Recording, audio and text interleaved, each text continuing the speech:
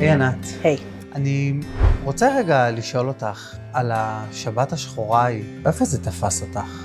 היינו בבית והתעוררנו לאזעקות. אני אימא לילד אה, עם CP שקצת קשה לסחוב אותו. כשיש אזעקה אני פשוט אה, מרימה אותו מהמיטה ורצה איתו לחדר הארונות, כי זה המקום הכי קרוב שיש לי מבחינת מיגון.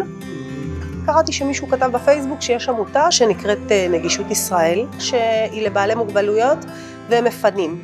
אז מילאתי את הטופס שלהם, חזרו אליי ושאלו אותי מה הצרכים שלי, אה, אם אני צריכה חדר, אה, ממש הכל. לדוד לדוגמה, זה מאוד חשוב.